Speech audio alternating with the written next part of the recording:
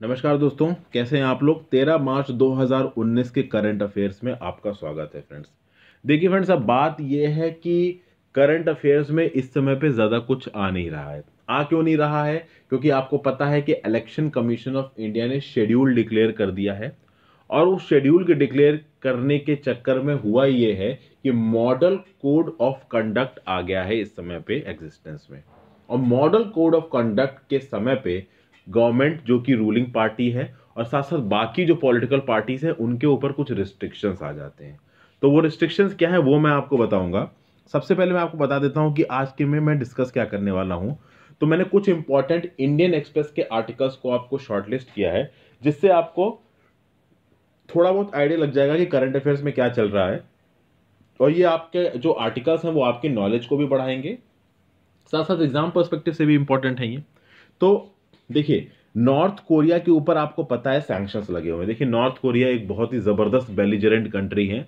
हालाँकि अभी ट्रंप जी और जो उनके प्रेसिडेंट प्रीमियर हैं नॉर्थ कोरिया के, उनके बीच में डिस्कशंस चल रहे हैं। तो पहले सिंगापुर में मीटिंग हुई, फिर हनोई, वियतनाम में मीटिंग हुई। और कहा जा रहा है कि डी न्यूक्लियराइजेशन होगा आपका इस कोरियन पेनिनसुला का और साथ साथ सैंक्शन हटाए जाएँगे नॉर्थ कोरिया पर तो थोड़ी बहुत बातें चलनी शुरू हो रही हैं। लेकिन नॉर्थ कोरिया के ऊपर जो सैंक्शंस लगे हुए हैं कहा जा रहा है कि उन सैंक्शंस को कई जगह पे, कई कंट्रीज़ में वायलेट किया जा रहा है और कुछ कंट्रीज़ इनफॉर्मल तरीके से नॉर्थ कोरिया को सपोर्ट कर रही हैं। तो उसके रिस्पेक्ट में आर्टिकल है तो इस आर्टिकल को हम डिस्कस करेंगे। फिर साउथ कोरिया के मून जेई के एक एडवाइजर है मून जेई साउथ कोरिया के प्राइम मिनिस्टर तो उनके जो एडवाइजर हैं, उन्होंने यूएस की जो अप्रोच है ऑल और नथिंग इसको क्रिटिसाइज किया है। ऑल और नथिंग यानी इनके एडवाइजर का यह बोलना है कि अभी जो हनोई, वियतनाम में ये जो आपकी जो मीटिंग थी ट्रंप जी के बीच में और ये जो प्रीमियर है आपके नॉर्थ कोरिया के बीच में, ये एकदम से फेल हो गई। एकदम से दोनों ऑफिशियल्स उठे और वापस चले गए। ठीक है? सेम डे प्रेसिडेंट वहाँ से ट्रंप वहाँ से चले गए और जो नॉर्थ कोरिया के प्रीमियर थे, वो कुछ दिन बाद गए वहाँ से। ठीक है? तो एकदम से बंद हो गई। तो ये जो एडवाइजर है मोन जेई के साउथ कोरिया के, इनका ये कहना है कि जो यूएस ये अप्रोच अपना रहा है कि या तो सब कुछ होगा या कुछ नहीं होगा, ये अप्रोच सही नहीं है और ग्रेजुअल तरीके से आगे बढ़ना चाहिए। तो इन दोनों आर्टिकल्स को मैंने एक स्लाइड में रखा है जो कि दोनों नॉर्थ कोरिया यूएस से डील कर रहे हैं। फिर अभी अभी एक न्यूज़ आई है फ्रेंड्स कि यूएस धीरे धीरे करके अपने सारे डिप्लोमेटिक पर्सनल को वेनेजुला से निकाल लेगा। अब वैसे भी वेनेजुला में डिप्लो यूएस डिप्लोमेट्स बहुत कम रह गए हैं, जो कि ये वेनेजुला क्राइसिस को लगभग अब एक साल हो गया फ्रेंड्स बहुत सालों से क्राइसिस चल रही है।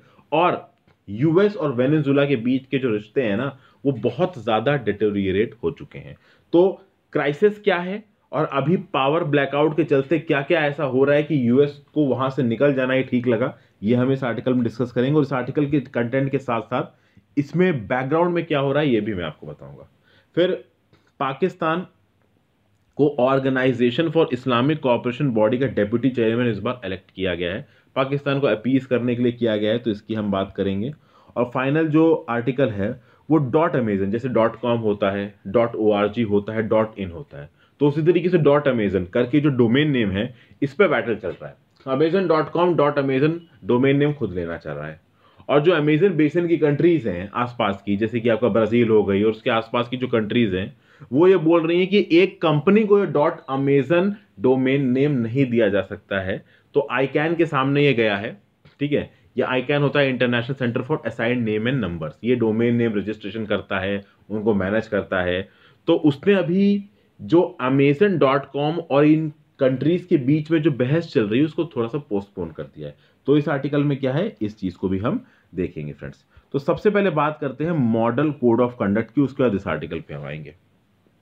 देखिए मॉडल कोड ऑफ़ कंडक्ट कैसे ही लागू होता है फ्रेंड्स जैसे ही election commission of India elections की घोषणा करता है, जैसे कि अभी अभी इलेक्शन कमीशन ऑफ़ इंडिया ने कुछ दिन पहले घोषणा की है कि भाई सात फेजेस में इलेक्शन होंगे लोकसभा के। जैसे ही ये अनाउंसमेंट किया इलेक्शन कमीशन ऑफ़ इंडिया ने model code of conduct force में आ गया। और जैसे ही model code of conduct force में आ जाता है फ्रेंड्स कुछ गाइडलाइंस होती हैं जिनको इलेक्शन कमीशन ऑफ़ इंडिया ने इशू किया है। उन गाइडलाइंस को फिर सारी पॉलिटिकल पार्टीज़ को फॉलो करना पड़ेगा। वो गाइडलाइंस पॉलिटिकल पार्टीज़ के जो लीडर्स हैं, उनके स्पीचेस से रिलेटेड हो। पोलिंग डे पे एक्टिविटीज़ किस तरीके से होंगी, उससे रिलेटेड हो पोलिंग बूथ का मैनेजमेंट किस तरीके से होगा, इससे रिलेटेड हो इलेक्शन मैनिफेस्टो को किस गाइडलाइन के हिसाब से बनाना है, क्या पॉलिटिकल पार्टी का कंडक्ट होना चाहिए, किस तरीके से वो अपनी रैलियाँ करा सकते हैं, ये सब कुछ लिखा गया है। और देखिए, इस मॉडल कोड ऑफ़ कंडक्ट को एक दिन में नहीं बनाया गया फ्रेंड्स धीरे धीरे धीरे धीरे करके ये इवॉल्व होता गया है। जैसे जैसे हमारी डेमोक्रेसी मैच्योर हुई है, वैसे वैसे ये मॉडल कोड ऑफ़ कंडक्ट भी मैच्योर होता गया है। और पॉलिटिकल पार्टीज़ की कंसेंसस से बना है ये आपका मॉडल कोड ऑफ़ कंडक्ट और पॉलिटिकल पार्टीज़ भी इस मॉडल कोड ऑफ़ कंडक्ट को उन्होंने ये कसम ली है कि हम लेटर और स्पिरिट में मानेंगे। लेकिन देखिए फ्रेंड्स बात यह है कि हर तरीके से कोई मानता है नहीं। जैसे कि अभी कुछ दिन पहले ही आप देख रहे हैं फ्रेंड्स कि अभिनंदन के इश्यू को लेके बहुत सारी पॉलिटिकल पार्टीज़ अपने चेस्ट थंपिंग में लगी हैं, पीठ थपथवाने में लगी हुई हैं। बीजेपी बहुत ज़्यादा इस चीज़ में लगी। देखिए, मैं एक बहुत न्यूट्रल तरीके से अपने व्यू पॉइंट को रखता हूँ, ठीक है? तो अगर अब इस तरीके की कोई चीज़ होती है और कोई पॉलिटिकल पार्टी अभिनंदन के साथ फ़ोटो खिंचा के अपना प्रचार कर रही है तो ये मॉडल कोड ऑफ़ कंडक्ट का वायोलेशन होगा। इसीलिए इलेक्शन कमीशन ऑफ़ इंडिया ने साफ़ साफ़ स्ट्रिक्स वार्निंग दी थी कि अभी कुछ दिन पहले बीजेपी में एक सर्कुलर के हिसाब से लिखा हुआ था कि इलेक्शन कमीशन ऑफ़ इंडिया ने बहुत सारे बीजेपी के लीडर्स को धमकी दी। धमकी क्या दी? उनको वार्निंग दी कि ये जो आप कर रहे हैं ना, कि अभिनंदन के साथ फ़ोटो खिंचा के आप अपना पॉलिटिकल प्रचार कर रहे हैं, ये गलत है। आप आर्म्ड फोर्सेस को इन्वॉल्व करके अपने पॉलिटिकल पार्टी का प्रचार नहीं कर सकते। और जैसे कि अभिनंदन हमारे विंग कमांडर एयरफोर्स के एलिट मेंबर हैं तो ऑब्वियस ही बात है, आप उनको इन्वॉल्व करके उनका मुद्दा उठा के आप अपनी पार्टी के पॉलिटिकल गेम्स को आगे बढ़ाना चाहें, ये नॉर्मल सर्कमस्टांसेस में भी नहीं हो सकता। तो इस तरीके का कुछ मॉडल कोड ऑफ़ कंडक्ट में होगा तो उसको तो अपोज किया ही जाएगा। जैसा कि मैंने बताया friends model code of conduct और भी बहुत सारी चीज़ों में होता है। जब इलेक्शंस पास आते जाते हैं ना तो बहुत सारी पार्टियाँ कैंपेनिंग मूड में आ जाती है। बिल्कुल एक्टिव मूड में आ जाती हैं। फिर उसमें कुछ कम्युनल पार्टियाँ होंगी, ठीक है ना? कम्युनल पार्टी में ये हो सकता है कि कोई हिंदू अपने हिंदू फॉलोवर्स को मुस्लिम्स के खिलाफ भड़काए। कोई मुस्लिम अपने मुस्लिम फॉलोअर्स को हिंदू के खिलाफ भड़काए तो एक इंटर रिलीजन क्लैश कराने की बात हो, और वो जो लीडर हो, वो लोकल कम्युनिटी के वोट्स लेना चाह रहा हो और इसलिए वो भिड़ा दे, ठीक है? तो इस तरीके की चीज़ों को अवॉइड करने के लिए एक गाइडलाइन रखे हैं इलेक्शन कमीशन ऑफ़ इंडिया ने, और ये गाइडलाइन बहुत इफ़ेक्टिव है फ्रेंड्स नहीं तो ये नेता तो ऐसी ऐसी स्पीच दे कि लोगों को ऐसे लड़ा के मार दें वो, ठीक है? क्योंकि उनको तो वोट जीतने हैं, और कुछ के तो बिल्कुल ही एथिक्स खत्म हो चुके हैं कुछ नेताओं के तो वो तो जीतने के लिए कुछ भी कर सकते हैं, ठीक है? अब देखिए एग्जैक्टली exactly देखा जाए तो और क्या क्या चीज़ें हो सकती है इस मॉडल कोड ऑफ़ कंडक्ट में फ्रेंड्स तो इस मॉडल कोड ऑफ़ कंडक्ट के टाइम पे गवर्नमेंट कोई भी रिक्रूटमेंट प्रोसेस प्रोसेस नहीं चलाएगी, ना ही सेंट्रल गवर्नमेंट चलाएगी, ना ही स्टेट गवर्नमेंट चलाएगी। ठीक है? यानी कोई रिक्रूटमेंट इस टाइम पे नहीं हो सकता। फिर भाई जो भी यू नो कैंडिडेट्स कॉन्टेस्ट कर रहे हैं इसमें, वो आपस में एक दूसरे के खिलाफ पर्सनल एजेंडा लेके नहीं आएँगे। कि पता चला भाई, एक कंटेस्टिंग कैंडिडेट दूसरे कंटेस्टिंग कैंडिडेट के घर के सामने जाके धरना प्रदर्शन कर रहा है। ये नहीं हो सकता है। आप अपना प्रदर्शन करिए, आप अपनी रैली निकालिए, पर तरीके से निकालिए। फॉर एग्ज़ाम्पल अगर आप अपनी पॉलिटिकल पार्टी की रैली निकाल रहे हो तो आप रोड ट्रैफ़िक को ब्लॉक नहीं कर सकते हो। ये भी मॉडल कोड ऑफ़ कंडक्ट का वॉल्यूशन है। अब नॉर्मल सर्कमस्टांसेस में भी ये वॉल्यूशन है। एक पॉलिटिकल पार्टी रोड ट्रैफ़िक को ब्लॉक नहीं कर सकती। है लेकिन मॉडल कोड ऑफ़ कंडक्ट जब लागू है, उस समय पर अगर ऐसा कोई करता है तो भाई फिर इलेक्शन कमीशन ऑफ़ इंडिया उस कैंडिडेट का कैंडिडेचर रद्द भी कर सकता है मॉडल कोड ऑफ़ कंडक्ट के वॉयलेशन को लेकर उसके बाद फ्रेंड्स बहुत सारी तरीके की चीज़ें होती हैं। जैसे फॉर एग्ज़ाम्पल नॉर्मल सर्कमस्टांसेस में कोई किसी को अगर शराब देता है पीने के लिए, ठीक है? तो वो गलत नहीं माना जाएगा। फॉर एग्ज़ाम्पल मैं अगर बीजेपी का मेंबर हूँ और मैं सामने एक पर्सन को शराब दे देता हूँ तो नॉर्मल सर्कमस्टांसेस में उसको गलत नहीं माना जाएगा, क्योंकि शराब पीना इंडिया में क्राइम नहीं है। But model code of conduct लगा है और मैं उसको शराब दे रहा हूँ इस इंटेंशन से कि वो वोट मेरे फेवर में दे बीजेपी की फेवर में दे या कांग्रेस की फेवर में दे। बस मैं एग्ज़ाम्पल लेके बता रहा हूँ पार्टी का। तो उस केस में फिर उसको मॉडल कोड ऑफ़ कंडक्ट का वायोलेशन माना जाएगा। ठीक है फ्रेंड्स उसके बाद जो पब्लिक प्लेसेस होते हैं, जैसे मीटिंग ग्राउंड्स होते हैं हेलीपैड्स होते हैं गवर्नमेंट के गेस्ट हाउसेज होते हैं पब्लिक पार्क्स होते हैं स्टेडियम्स होते हैं, जहाँ पे ये पॉलिटिकल पार्टीज़ आके अपनी रैलीज करती हैं। तो इस तरीके की जो सुविधाएँ होंगी ना, वो सारे कैंडिडेट्स के बीच में बराबर बराबर बांटी जाएँगी। ऐसा नहीं कि कोई कैंडिडेट ज़्यादा इस्तेमाल कर रहा है, कोई कैंडिडेट कम इस्तेमाल कर रहा है, ये नहीं हो पाएगा। ठीक है? उसके बाद बहुत सारी चीज़ें होती हैं फ्रेंड्स जो नए वेलफेयर प्रोग्राम्स होते हैं। जैसे कि पैसे बांटना रोड का कंस्ट्रक्शन कराना ड्रिंकिंग वाटर की फैसिलिटी देना, इस तरीके की चीज़ों को इस समय पर अवॉइड किया जाता है। देखिए, पाँच साल का टाइम दिया जाता है इन लेजिस्लेटर्स को काम करने के लिए। पाँच साल में काम करो ना मॉडल कोड ऑफ़ कंडक्ट में ये सब काम करने की ज़रूरत क्या है? क्योंकि मॉडल कोड ऑफ़ कंडक्ट में अगर आप ये वेलफेयर स्कीम जैसे काम करेंगे तो आप वोट जीतना चाहते हैं लोगों को। आपको पूरे पाँच साल दिए लोगों ने काम करने के लिए आप उस समय पर काम करिए, ठीक है? मॉडल कोड ऑफ़ कंडक्ट के टाइम पर आप ऐसा काम नहीं कर सकते। ठीक है?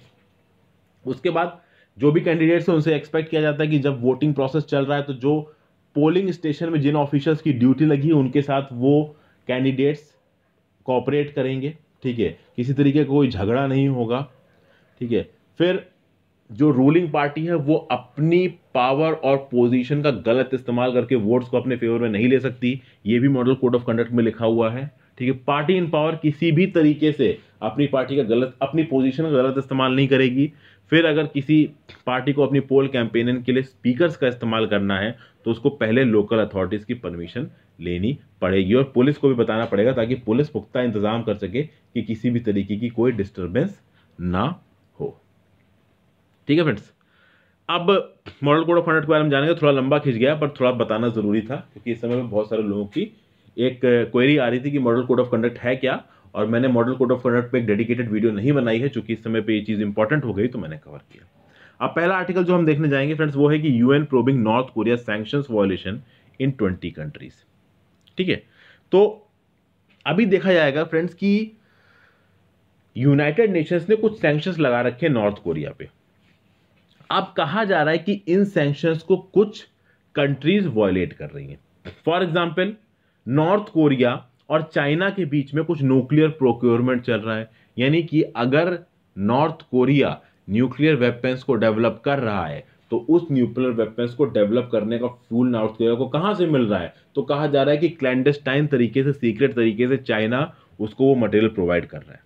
फिर ये कहा जा रहा है कि जो आर्म्स की ब्रोकरिंग हो रही सीरिया में जो सिविल वॉर चल रहा है, उसके चक्कर में आर्म्स की खरीद फरोख हो रही है। तो उसमें भी हल्का फुल्का नॉर्थ कोरिया इन्वॉल्व है। जो कि अलाउड नहीं है उसको। फिर हल्का फुल्का मिलिट्री कॉपरेशन भी सुनता हुआ आ रहा है कि सूडान, ईरान और लिबिया के साथ नॉर्थ कोरिया को जो मिलिट्री कॉपरेशन है वो भी हल्का फुल्का बढ़ रहा है। बट इन चीज़ों की परमिशन नहीं है नॉर्थ कोरिया को अभी, क्योंकि नॉर्थ कोरिया पे यूनाइटेड नेशंस ने ज़बरदस्त सैंक्शन लगा रखे हैं। और ये सब बातें कहाँ उठाई गई हैं? एक एक्सपर्ट पैनल है यूनाइटेड नेशंस का, जिसने अपनी 66 पन्नों की रिपोर्ट को सिक्योरिटी काउंसिल के सामने ठीक है, एक तरीके से आप सबमिट किया है। उसके बाद ये भी बोला गया है कि फ्रेंड्स नॉर्थ कोरिया में रोल्स रॉयस फैंटम कार फिर मर्सिडीज बेंस लीमोजीन्स पाई गई हैं लेक्स एलेक्स 570 ये सब लग्जरी व्हीकल्स हैं तो ये लग्जरी व्हीकल्स नॉर्थ कोरिया में मिले अब सवाल ये उठता है कि नॉर्थ कोरिया में ये लग्जरी व्हीकल्स आए कहाँ से? पहली बात नॉर्थ कोरिया के पास तो टेक्नोलॉजी है नहीं कि वो इस तरीके के लग्जरी व्हीकल्स को बना सकते हैं तो कहीं ना कहीं से उन्होंने बनाया मंगवाया है उसको, और लग्जरी गुड्स को नॉर्थ कोरिया में भेजना सैंक्शंस के खिलाफ है तो सवाल ये उठता है कि भाई इनके पास ये कार्स आई कहाँ से? तो सीधी सीधी बात है कि यूनाइटेड नेशंस की सैंक्शंस का वॉयलेशन हो रहा है। कौन कर रहा है? ये देखना बाकी है। ठीक है? फिर साइबर अटैक्स में भी बहुत हद तक आपका नॉर्थ कोरिया इन्वॉल्व है। ठीक है? तो ये भी है। फिर कहा जा रहा है कि नॉर्थ कोरिया का जो न्यूक्लियर और मिसाइल प्रोग्राम है ना, वो इंटैक्ट है। वो अभी कम नहीं हो रहा है। ठीक है? और इसको और भी लीडर्स आगे बढ़ाने के मूड में हैं इरिस्पेक्टिव ऑफ़ द फैक्ट कि इस समय पे आपका जो नॉर्थ कोरिया के लीडर हैं और जो आपके ट्रंप जी हैं, जो यूएस के लीडर हैं, उनके बीच में अभी सिंगापुर में और हनोई, वियतनाम में ऑलरेडी एक मीटिंग हो चुकी है, जिसके थ्रू धीरे धीरे न्यूक्लियराइजेशन की बात चली है, पर कोई टाइम फ्रेम बन नहीं पाया है। जो आपके नॉर्थ कोरिया के प्रीमियर है मिस्टर किम उन्होंने बोला कि the Yongbyon nuclear complex को हम बंद कर देंगे। उसके बदले में आप हमारे ऊपर से सैंक्शन हटाइए। यूएस का क्या स्टैंड आ गया कि भैया, आप पहले अपनी सारी न्यूक्लियर फैसिलिटीज़ को बंद करने का प्रॉमिस करिए कंप्लीट ड्यू न्यूक्लियराइजेशन का कमिटमेंट करिए, फिर हम सैंक्शन हटाएँगे। नॉर्थ कोरिया क्या कहना है? कि मैं योंग ब्योंग न्यूक्लियर कॉम्प्लेक्स को बंद कर रहा हूँ, आप हमारे ऊपर से सैंक्शन हटाइए तो बात इस पर एक तरीके से अड़ गई। अब जो सैटेलाइट रिपोर्ट्स है सैटेलाइट रिपोर्ट्स ये कहती हैं कि योंग ब्योंग न्यूक्लियर कॉम्प्लेक्स में काम लगातार चल रहा है। वाटर चैनल्स एक्सकेवेट किए जा रहे हैं। सैटेलाइट इमेजरी बता रही है कि वहाँ पे हल्का फुल्का काम चालू है, काम चलना अभी बंद हुआ नहीं है। ठीक है ना? फिर यूरेनियम कंसंट्रेशन प्लांट्स और माइनिंग साइट्स आपकी नॉर्थ कोरिया में बहुत हैं। ठीक है? फिर कहा जा रहा है कि नॉर्थ कोरिया के पास जो बैलिस्टिक मिसाइल्स हैं उनको डिस्पेंटल करने की बात कही जा रही तो इस तरीके का कुछ भी नॉर्थ कोरिया करने को तैयार नहीं है। फिर अपनी टेरिटरी में अलग अलग जगह पे नॉर्थ कोरिया अपनी इन मिसाइल्स को डिप्लॉय कर रहा है और कहा जा रहा है कि फ्रीक्वेंटली नॉर्थ कोरिया इन मिसाइल्स को अपनी कंट्री के अंदर एक जगह से दूसरी जगह रीलोकेट करता रहता है और खासकर इन मिसाइल्स को उन जगहों से लॉन्च किया जाता है जो पहले मिलिट्री लोकेशंस रह चुकी हैं।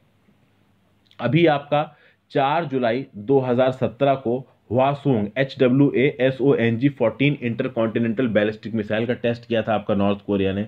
उसके बाद कुछ ऐसे और भी टेस्ट किए हैं नॉर्थ कोरिया ने। फिर ट्रेड सैंक्शंस की जहाँ पे बात होती है फ्रेंड्स तो यूनाइटेड नेशंस ने दो कंपनीज़ को ब्लैकलिस्ट में दाना है। दोनों कंपनी चाइनीज़ है। एक है नाम चो गैंग ट्रेडिंग कॉरपोरेशन, दूसरा है नाम हुंग। Trading corporation. कहा जाता है फ्रेंड्स कि ये दोनों कंपनीज़ आपकी नॉर्थ कोरिया के साथ ट्रेड में इन्वॉल्व है इरिस्पेक्टिव ऑफ़ द फैक्ट कि नॉर्थ कोरिया पे सैंक्शंस लगे हुए हैं। यानी इस चीज़ का सीधा सीधा प्रूफ सामने निकल के आ रहा है कि चाइना इन वन फॉर्म और द अदर नॉर्थ कोरिया को सपोर्ट कर रहा है। ठीक है, इस तरीके की बहुत सारी चीज़ें हो रही हैं फ्रेंड्स। अब एक चीज़ और भी बोली जा रही है कि नॉर्थ कोरिया के और जो सीरिया के आपके प्रेसिडेंट है बशर अल असाद उनके बीच में भी कुछ निगोसिएशंस हो रहे हैं और कहा जा रहा है कि नॉर्थ कोरिया के बिहाफ पे कुछ सीरिया के लोग, मिडिल ईस्टर्न और अफ्रीकन स्टेट्स में कुछ आर्म्स डीलिंग कर रहे हैं। देखिए फ्रेंड्स बात यह है कि नॉर्थ कोरिया ने पिछले कुछ डिकेट्स में आपको, अपने आप को मिलिट्रली डेवलप किया है। साउथ कोरिया, जो पूरा कोरियन पेनिसुला है, साउथ कोरिया एक बहुत पोटेंट थ्रेट समझता है नॉर्थ कोरिया से, क्योंकि नॉर्थ कोरिया के पास कुछ ऐसे कन्वेंशनल आर्म्स हैं, जो कि दुनिया की बहुत बड़ी बड़ी बड़ी कंट्रीज़ के पास नहीं है। और कहा जा रहा है, को येमेन और लिबिया में जो आर्म्ड ग्रुप्स ऑपरेट कर रहे हैं, वो इस तरीके के कन्वेंशनल आर्म्स को गन्स को बैलिस्टिक मिसाइल्स को नॉर्थ कोरिया से खरीदना चाहता है। और नॉर्थ कोरिया के बिहाफ पे इन आर्म्ड ग्रुप्स जो कि लिबिया और यमन में ऑपरेट कर रहे हैं, इनसे निगोशिएट कौन कर रहा है? तो निगोशिएट कर रहे हैं आपके कुछ सीरिया के नेशनल्स तो ये समझ में आ रहा है भाई कि नॉर्थ कोरिया सीरिया और ये जो आपके अफ्रीकन नेशंस में और लिबिया में और जो यमन में ये जो लोग एक्टिव है, इनके बीच में कुछ ट्राइंगल सा बनता नज़र आ रहा है। ये भी इस रिपोर्ट में बोला गया है फ्रेंड्स फिर ये भी कहा गया है कि ईरान नॉर्थ कोरिया के वेपन्स के लिए एक बहुत बड़ा मार्केट माना जाता है। हालाँकि जब ईरान से ये बात पूछी गई कि क्या नॉर्थ कोरियंस आपके यहाँ पे हैं और क्या कुछ इस तरीके की मिलिट्री डीलिंग चल रही है तो ईरान ने साफ़ साफ़ बोल दिया कि भाई नॉर्थ कोरिया के केवल वही लोग हमारे यहाँ हैं जो कि नॉर्थ कोरिया की एम्बेसी में हैं, जो डिप्लोमेट्स हैं नॉर्थ कोरिया के, और हमने किसी भी तरीके की किसी यूएन सेंक्शंस को वायलेट नहीं किया गया हालाँकि ये बात सब जानते हैं फ्रेंड्स कि इस बात को ओपनली कोई एग्री नहीं कहेगा, पर यह रिपोर्ट बोलती है कि ईरान और नॉर्थ कोरिया के बीच में भी एक आर्म्स एग्रीमेंट हो रहा है बिहाइंड द सीन ठीक है? फिर इस तरीके की बहुत सारी चीज़ें आगे हो रही हैं फ्रेंड्स और नॉर्थ कोरिया और सूडान के बीच में भी कुछ इस तरीके का चल रहा है। ठीक है? तो नॉर्थ कोरिया अगर रहते हुए, ठीक है यूनाइटेड सैंक्शंस के बावजूद अगर इतना कुछ कर पा रहा है तो कहीं ना कहीं से उसको ज़बरदस्त सपोर्ट मिल रहा है।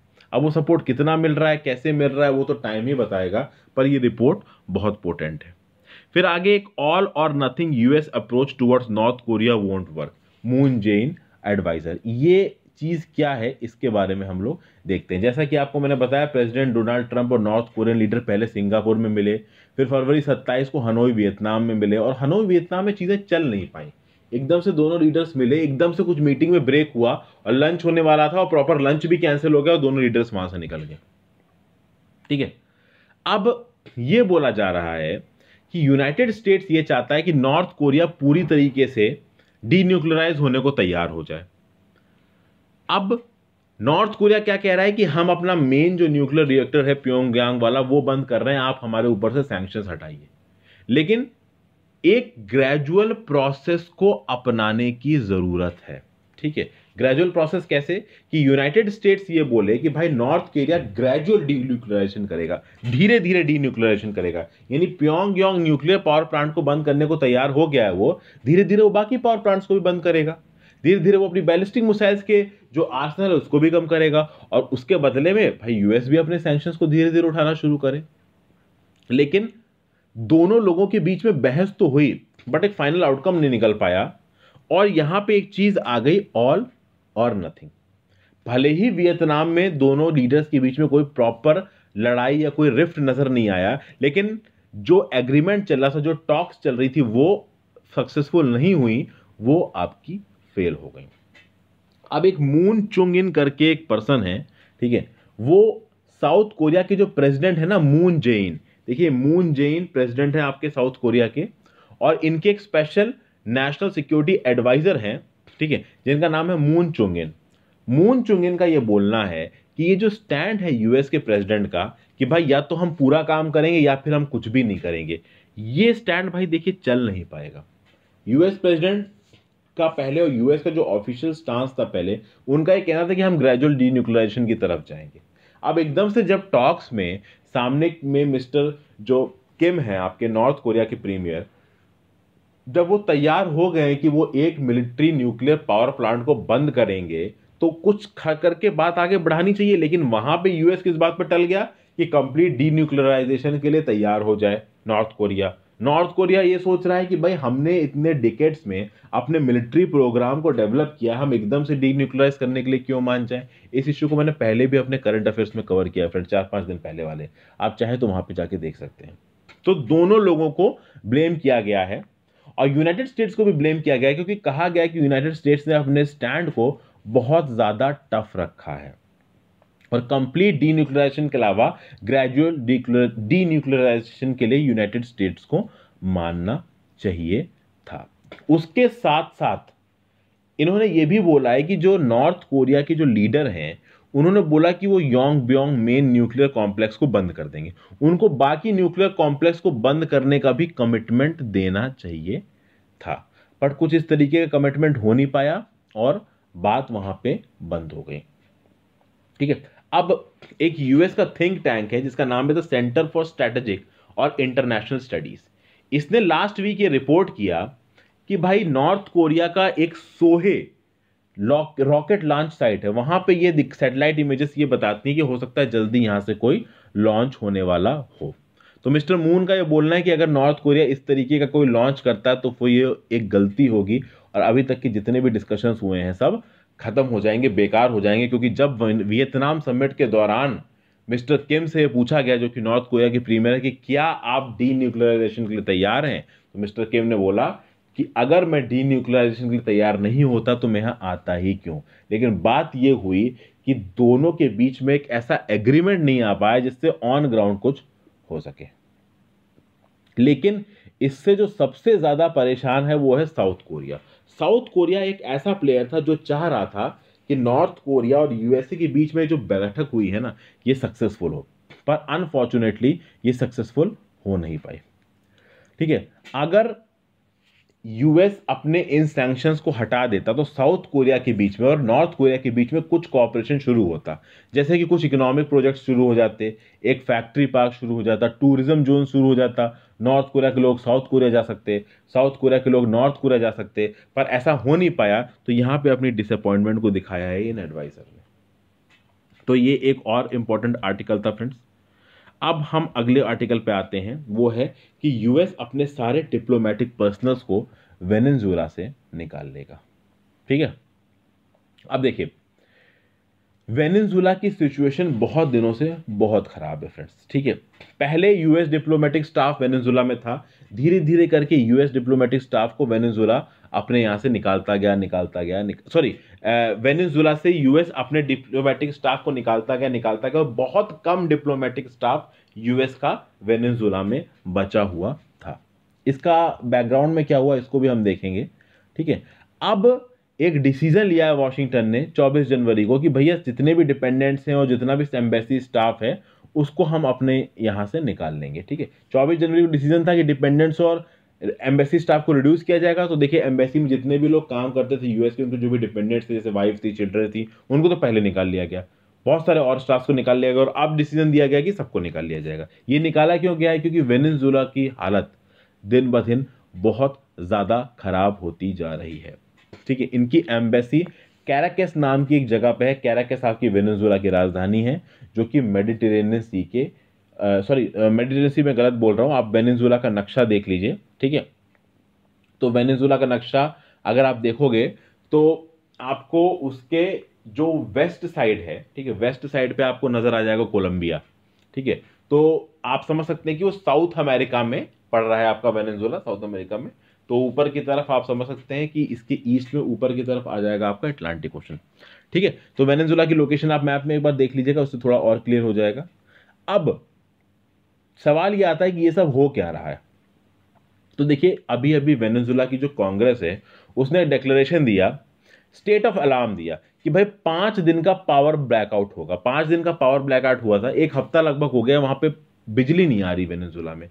अब आप सोचिए फ्रेंड्स, अगर एक हफ़्ता बीत जाए, दस दिन बीत जाए इंडिया में, और आपको बिजली देखने को ही ना मिले तो आपके कितने काम रुक जाएँगे?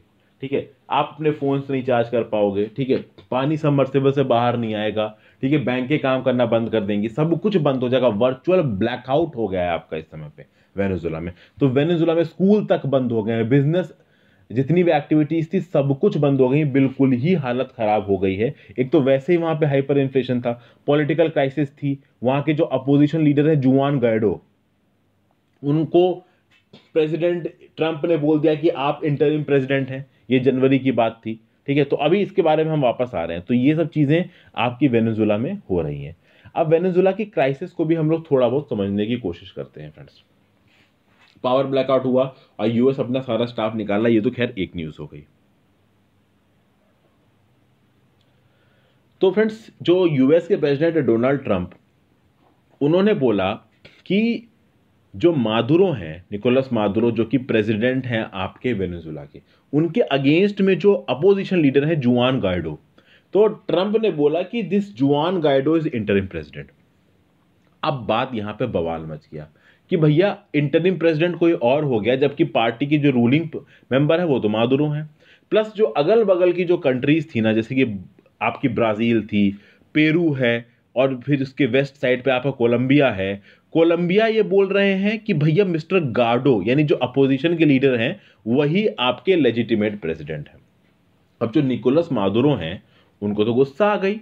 अब निकोलस मादुरो में भी एक प्रॉब्लम है। देखिए फ्रेंड्स जब आपकी इकोनॉमी में जब स्टेबिलिटी होती है ना तो सब कुछ ठीक चलता। अगर आप इंडिया में इस चीज़ को एज्यूम करो कि मान लीजिए इंडिया की प्रोडक्शन कैपेसिटी एकदम बेकार हो जाए प्राइवेट है ही नहीं, लोगों को एम्प्लॉयमेंट मिलना बंद हो जाए, ठीक है? और आपके पास खाने के भी पैसे नहीं बचे तो कितनी ज़बरदस्त तबाही मच जाएगी इंडिया में, इस चीज़ को एज्यूम कर पाना आपके लिए ज़्यादा मुश्किल नहीं है। अगर आपको मान लीजिए कि मार्केट में खाना तक ढंग से नहीं मिल रहा, सब्जियों की कमी हो गई, सब्ज़ियाँ ही नहीं आ रही हैं तो अगर इस तरीके की चीज़ें इंडिया में हो जाएँगी तो ऑब्वियसली बात है अफरा तफरी मच जाएगी। कुछ ऐसा ही इस समय वेनेजुला में हो गया है, बिल्कुल ज़बरदस्त हाइपर इन्फ्लेशन है अनएम्प्लॉयमेंट है। वहाँ पे लोगों के पास खाने के पैसे नहीं बचे हैं। प्राइवेट ओनरशिप वहाँ पे है नहीं कंपनीज़ वहाँ पे है नहीं, वहाँ पे एक बड़ी कंपनी है स्टेट ओन्ड कंपनी है, वो वही सारे काम करती है।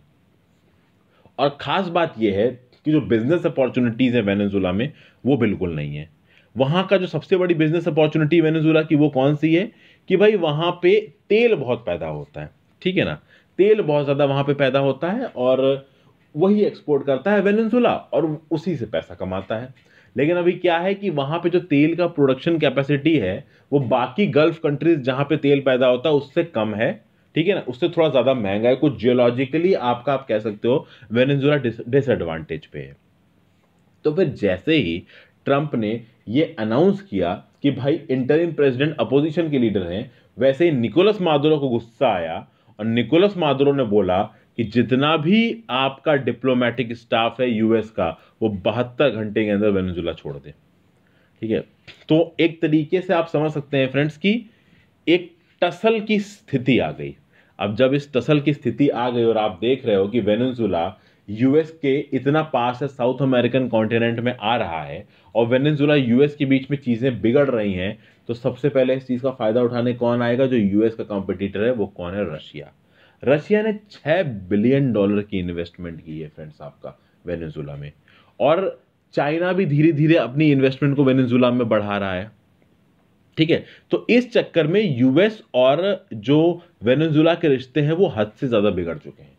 अब पहले क्या होता था कि यूएस एक बहुत बड़ी मात्रा में वेनेजुला के ऑयल को इम्पोर्ट करता था। फिर यूएस ने उस ऑयल को करना कर, बंद कर दिया इंपोर्ट तो जब इंपोर्ट होना बंद हो गया है वेनेजुला से ऑयल यूएस तो अब वेनेजुला का जो ऑयल है वो बाकी कंट्रीज़ को अवेलेबल हो जाएगा और उसमें इंडिया एक मेजर कंट्री हो सकती है। तो एक तरीके से कह रहे हैं फ्रेंड्स कि आपका जो वेनेजुला है ना वहाँ पे एक पावर गेम चल रहा है। और वो पावर गेम किसका किसके बीच में आ गया है? यूएस के बीच में आ गया है। और रशिया के बीच में आ गया है। और इसका फ़ायदा चाइना सीधे सीधे उठाने के मूड में है और काफ़ी हद तक इंडिया भी इसका चायदा, फ़ायदा उठा सकता है। तो ये एक क्राइसिस है जो पूरे साल से आपकी वेनेजुला में चल रही है और फाइनली अब यूएस और वेनेजुला में जो बच्चे कुछ यूएस के डिप्लोमेटिक पर्सनल्स हैं, उनको भी यूएस निकाल रहा है, ठीक है? ऑलमोस्ट सारे डिप्लोमेटिक टाइज यूएस और वेनेजुला के बीच में टूट चुके हैं। यूएस जो उनके अपोजिशन गोवाडे प्रेसिडेंट हैं, उनको रिकॉग्नाइज करता है वेनेजुला के आसपास की जो कंट्रीज़ हैं आपकी, जैसे कि आपका ये कोलंबिया हो गया ब्राज़ील हो गया, ये भी किसको सपोर्ट करते हैं? ये भी आपकी जो अपोजिशन के लीडर हैं ग्वाडो उसको सपोर्ट करते हैं। लेकिन ऑब्वियसली बात है रशिया और चाइना किसके सपोर्ट में? वेनेजुला के सपोर्ट में, चूँकि रशिया ऑब्वियसली यहाँ पे यूएस के इन्फ्लुएंस को काउंटर कर रहा है। ठीक है? तो धीरे धीरे चीज़ें कैसे आगे अनफोल्ड होंगी, ये हमको धीरे धीरे पता चलेगा। अब एक और न्यूज़ निकल के आ रही फ्रेंड्स जो कि आपका ऑर्गेनाइजेशन फॉर इस्लामिक कोऑपरेशन से रिलेटेड है।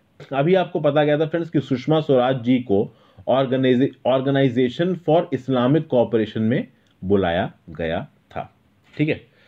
अब जब सुषमा स्वराज जी को ऑर्गेनाइजेशन फॉर इकोनॉमिक कोऑपरेशन की मीटिंग में बुलाया गया और उनको वहाँ पे गॉड ऑफ़ ऑनर मिला, जो कि बहुत बड़ा ऑनर था उस समय पे। तो ये मीटिंग हुई कहाँ थे अबू धाबी में हुई थी यूनाइटेड अरब एमिरेट्स में। ठीक है? तो पाकिस्तान ने एक बहुत ज़बरदस्त प्रोटेस्ट रखा था कि ये जो आप फॉरेन मिनिस्टर बुला रहे हैं ना, सुषमा स्वराज जी, ये गलत है। तो उस प्रोटेस्ट को टर्न डाउन कर दिया था आपका यूएई ने। यूएई ने इस बात को माना नहीं, और जब यूएई ने पाकिस्तान की इस बात को नहीं माना और सुषमा स्वराज जी को वहाँ पे बुलाया गया और गार्ड ऑफ़ ऑनर दिया गया ऑर्गेनाइजेशन ऑफ़ इस्लामिक कॉपरेशन में तो फिर पाकिस्तान के जो फॉरेन मिनिस्टर हैं शाह महमूद कुरैशी, जो कि जाके ऑर्गेनाइजेशन ऑफ़ इस्लामिक कॉपरेशन की मीटिंग को अटेंड करने वाले थे, उन्होंने अपनी मीटिंग को रद्द कर दिया था। तो ये एक बहुत मॉरल विक्ट्री मानी गई थी इंडिया के लिए, लेकिन अब पाकिस्तान भी एक इंपॉर्टेंट एलिमेंट है ऑर्गेनाइजेशन फॉर इस्लामिक कॉपरेशन का तो इसलिए ऑर्गेनाइजेशन फॉर इस्लामिक कॉपरेशन में पाकिस्तान को कुछ वैल्यू तो देनी ही है। तो इस बार जो जनरल बॉडी है ना आपकी Parliamentary Union of Organisation of Islamic Cooperation इसको पीयूआईसी भी बोलते हैं। उसने इस बार पाकिस्तान को डेप्यूटी चेयरमैन चुना है ऑर्गेनाइजेशन ऑफ़ इस्लामिक कॉपरेशन का। ऑर्गेनाइजेशन ऑफ़ इस्लामिक कॉपरेशन में 57 कंट्रीज़ हैं और इसमें ज़्यादातर मुस्लिम मेजॉरिटी कंट्रीज़ हैं और मुस्लिम, जहाँ पे मुस्लिम डोमिनेटेड कंट्रीज़ हैं और इसमें पाकिस्तान एक बहुत बड़ा मेंबर है और पाकिस्तान को डेप्यूटी चेयरमैन बनाया गया है। ऑब्वियसली बात है, पाकिस्तान को बनाया जाएगा थोड़ा बहुत तो पाकिस्तान को पैसिफाई करना ही है ना। क्योंकि पाकिस्तान को गुस्सा करके एक बार तो सुषमा स्वराज जी को गार्ड ऑफ़ ऑनर दिया गया है। तो सुषमा स्वराज जी ने forty six session of the Council of Foreign Ministers को अटेंड किया था। Organisation of Islamic Cooperation Abu Dhabi में इसको मैंने कवर किया है। उसके अगेंस्ट में पासिफाई को, पाकिस्तान को पैसिफाई करने के लिए ये स्टेप लिया है आपका ओ आई सी ने यानी ऑर्गेनाइजेशन ऑफ़ इस्लामिक कॉपरेशन ने। ये डेप्यूटी चेयरमैन चुन लिया गया है पाकिस्तान। अब अगली जो न्यूज़ है, जो कि आज की आखिरी न्यूज़ है, फ्रेंड्स, जो इंपॉर्टेंट इंपॉर्टेंट न्यूज़ है, जो कि एक तरीके से इंटरेस्टिंग सब्जेक्ट्स भी एग्ज़ाम के परस्पेक्टिव से इंपॉर्टेंट भी है और आपकी जनरल अंडरस्टैंडिंग के लिए भी ज़रूरत है। वो ये है फ्रेंड्स कि Amazon domain battle rages on as internet overseer postpone decision यहाँ पे इंटरनेट ओवरसियर कौन है? तो वो है आईकैन आईकैन मतलब International Council for Assigned Name and Numbers ICANN करता क्या है? भाई, आईकैन सीधी सीधी बात है, जितने भी डोमेन नेम्स इशू हो रहे हैं, वो आईकैन के परमिशन से ही होते हैं। जैसे फॉर एग्ज़ाम्पल फ्रेंड्स कभी कभी आप गो डैडी डॉट कॉम पर जाओ और गो डैडी डॉट कॉम पर आप जाके अपना डोमेन नेम खरीदो। जैसे मेरा डोमेन नेम है पैडमेट डॉट ओ आर जी तो जब मैं पैडमेट डॉट ओ आर जी खरीदूँगा ना तो गो डैडी अपनी होस्टिंग फ़ीस तो लेगा ही डोमेन नेम की। साथ साथ उसमें एक आईकैन फ़ीस एसोसिएटेड होती है। ठीक है? International Council for Assigned Name and Numbers के पास भी कुछ पैसे जाते हैं। वो पैसे आपके उसी पैसे में इंक्लूडेड होते हैं जो गोडेडी आपसे चार्ज करता है। अगर आप कभी उसकी बिलिंग रिसिप्ट को देखोगे तो उसमें आई कैन अमाउंट भी नज़र आएगा। आई कैन पेमेंट भी नज़र आएगी। तो आई कैन के पास ही पैसा आता है क्योंकि डोमेन नेम्स को मेंटेन करने का काम आपका आई कैन का ही है। अब देखें यहाँ पर बात आ रही है अमेजन डोमेन नेम की। अमेजन बेसिन की बात करोगे फ्रेंड्स जो कि आपका कहाँ पड़ता है? नॉर्थ अमेरिका के साउथ में आप आ जाइए तो पैनामा का वॉल क्रॉस करते ही आपका साउथ अमेरिका कॉन्टिनेंट शुरू हो जाता है। अब साउथ अमेरिका कॉन्टिनेंट में जो अमेजन बेसिन में कंट्री आती है, वो है Brazil Bolivia Peru Ecuador Colombia Venezuela Guyana और सूरीनाम ये जाके आप मैप में देखिए इनको। फिर से बोल रहा हूँ Brazil Bolivia Peru Ecuador Colombia Venezuela Guyana Suriname ये सब आपका ये अमेजन वाले एरिया में आते हैं, जिसको अमेजन बेसिन बोलते हैं। क्यों? क्योंकि अमेजन नाम की एक बहुत ही विशाल काय और बहुत ज़बरदस्त नदी उस इलाके से बहती है, जहाँ पे अमेजन रेन फॉरेस्ट भी बन गए आज की डेट में। अब आपको पता है अमेजन डॉट कॉम एक बहुत बड़ी कंपनी है। तो ये जो सारा पचड़ा चल रहा है, वो ये चल रहा है फ्रेंड्स कि सात साल लगभग ये लड़ाई चल चुकी है कि जो डॉट अमेजन डोमेन नेम है, जैसे फॉर एग्ज़ाम्पल ठीक है, हर्षित द्विवेदी डॉट कॉम तो हर्षित द्विवेदी डॉट अमेजन तो ये जो डॉट अमेजन डॉट कॉम की जगह डॉट इन की जगह डॉट अमेजन कर दीजिए, ठीक है? तो ये जो डॉट अमेजन डोमेन नेम है, ये अमेजन डॉट कॉम लेना चाह रहा है। और इस बात से जो अमेजन बेसिन की कंट्रीज़ हैं, इनको प्रॉब्लम है। अमेजन बेसिन की कंट्रीज़ का क्या बोलना है भाई? कि ये नाम एक्सक्लूसिवली एक कंपनी के पास नहीं जा सकता, क्योंकि ये नाम हमारे कल्चर को डिनोट करता है। और इस डोमेन नेम की ऊपर किसी एक कंपनी का कंट्रोल हो जाए, ये होना बिल्कुल भी गलत है। ठीक है? अब हुआ क्या है? सात साल से यह बवाल चल रहा है। ठीक है? और कोई भी इसमें प्रॉपर एक आउटकम निकल के नहीं आ रहा है। फ़िलहाल ये कहा गया था कि अभी जो मीटिंग हुई थी, उसमें ये आउटकम निकल के आएगा, लेकिन इस चीज़ को फिर से एक्सटेंड कर दिया गया है। यानी आई कैन ने इसको अप्रैल तक एक्सटेंड कर दिया गया है। हो क्या रहा है कि अमेजन डॉट कॉम के बीच में और ये जो अमेजन बेसिन की कंट्रीज़ हैं, इनके बीच में एक बहुत ज़बरदस्त निगोसिएशन चल रहा है कि इस डॉट अमेजन को डोमेन को किस तरीके से यूज़ करना है। तो इसमें अमेजन डॉट कॉम ने बहुत बड़े बड़े ऑफर्स दिए हैं। कहा गया है कि भैया मिलियंस ऑफ़ डॉलर्स के फ्री किंडल बांटेंगे अमेजन वेब सर्विसेज़ आपको फ्री में प्रोवाइड करेंगे, आप हमको डॉट अमेजन का डोमेन नेम दे दीजिए। ये कंट्रीज़ मानने को तैयार नहीं हुई कि हम नहीं देंगे। ठीक है?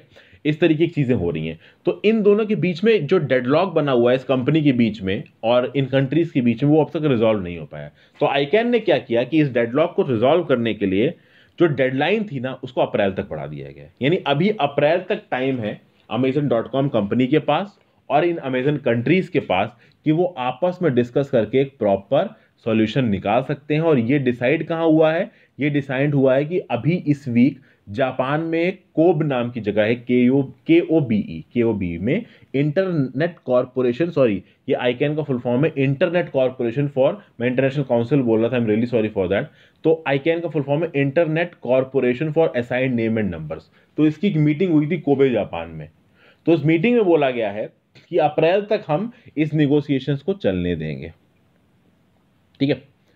2012 में ये बात कही जा रही थी कि dot Amazon Amazon dot com को दिया जाएगा तो उस समय पे अमेजन बेसिन जो कंट्रीज़ थी, आपकी बोलेविया बाजीर वगैरह, इन्होंने ये एरर उठाया था। और अब 21 अप्रैल 2019 तक इनको ये मौका दिया जाएगा कि आप अपने बीच में नेगोशिएशन करके किसी एक प्रॉपर पॉइंट तक पहुंचिए। इस बार की जो मीटिंग हुई है कोप जापान में, इस समय पे काफ़ी हद तक ये बात कही जा रही थी कि ये जो डिसीज़न होगा, वो अमेजन डॉट कॉम के फेवर में होगा। और ये जो अमेजन बेसिन की कंट्रीज़ ही, हार जाएँगे, लेकिन अमेजन बेसिन की कंट्रीज़ को और मौका दिया है, गया है निगोसिएशन के लिए। तो इसीलिए अभी अमेजन बेसिन की कंट्रीज़ ने आईकैन की शुक्रिया अदा किया है। आगे कितना इसमें क्या फ़र्क होने वाला है, कितना नहीं होने वाला है, ये देख रहे अभी बाकी है। ये जो अमेजन बेसिन की कंट्रीज़ हैं, इनका क्या बोलना है भाई?